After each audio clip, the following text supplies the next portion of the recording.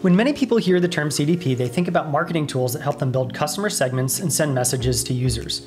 The problem for businesses is that marketing is only one piece of the data stack. At a minimum, that means data silos and lots of engineering time spent on integrations.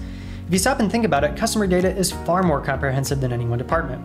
So at RudderStack, we're building the customer data platform that starts with the stack-wide data layer itself. Why build for developers, you ask? Well, that's simple. Engineering teams have access to all the systems that produce and store customer data, meaning they're the most equipped to create a truly unified view of the customer with data, then get that data to where it needs to go. So, what is a CDP for developers? A CDP for developers is a foundational data layer that enables engineers to collect all their customer data, build interesting use cases, then activate it across every function of the business, regardless of the technology downstream teams are using. Let's talk about how RudderStack helps you do that. First, we make it easy to ingest and connect all your data from every part of the stack without the painful integration work.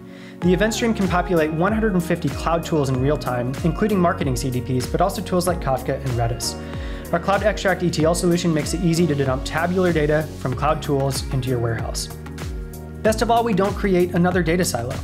RudderStack doesn't store any data, and we help you build a CDP on top of your warehouse where your data already lives. Lastly, and most importantly, RudderStack completes the picture by enabling developers and other teams to activate data directly from the warehouse. That means your enriched data and audiences can be shared with the entire stack. Optimizing a business with customer data isn't about the individual tools. It's about the data layer that interacts with and feeds those tools. Sign up for RudderStack today and start building a more powerful CDP.